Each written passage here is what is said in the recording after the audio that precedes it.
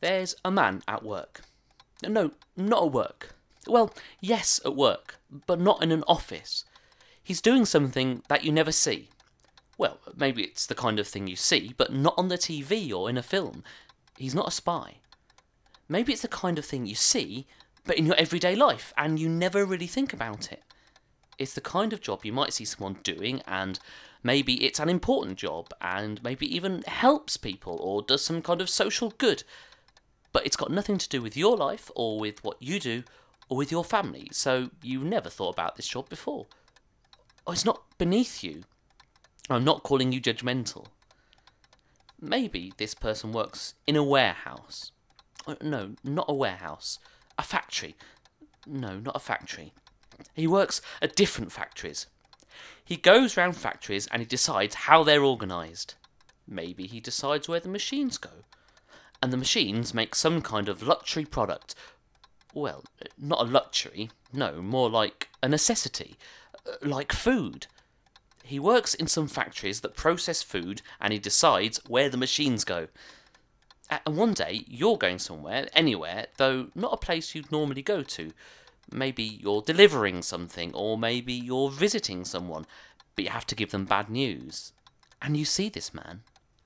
He's a man in a suit who's walking along a wall outside of one of his factories. It's not a high wall. He's not risking plummeting to his death at any moment.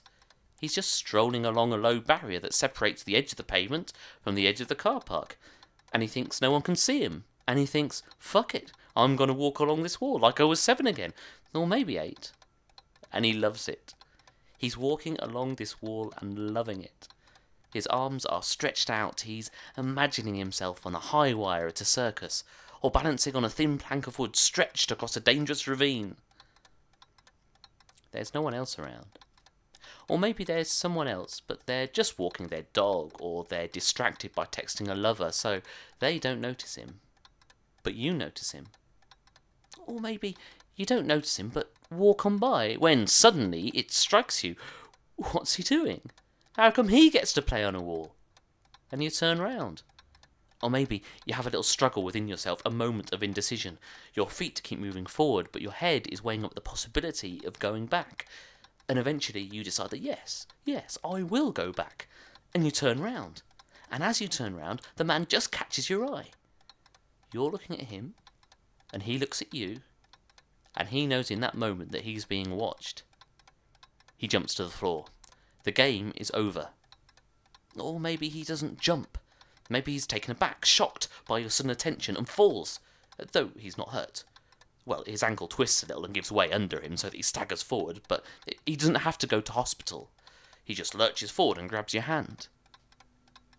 A look between you. More of a knowing smile, really.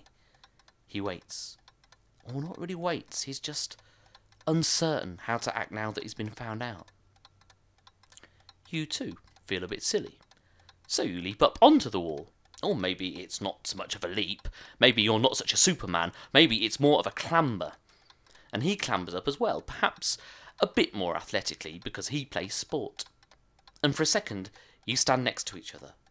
Although you don't just stand. You giggle. More than giggle, actually. You laugh. A laugh that wells up from deep within your stomach, a laugh that infects the man next to you, so that he too is howling, barely able to keep his balance. Seconds pass.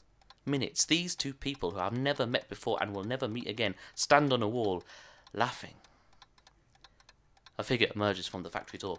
He wears blue overalls. No, not overalls. He's wearing a suit. A grey suit. An expensive suit. He shouts. Or maybe not shouts. Maybe he raises his voice, but feigns politeness. What are you doing? Or not so aggressive. Shall we uh, look at that machine then? and your wall strutting companion nods at him, or perhaps at you, or maybe it's a cheeky wink that he gives before hopping down and following his colleague into the factory. And you carry on along your way. On your way to deliver that parcel or give that person the piece of news they didn't want to hear. But this time, there's a renewed confidence in your step, and you feel you know what it is that you will say. Or the package, bound with brown paper and parcel tape, no longer chafes at your fingers as you carry it.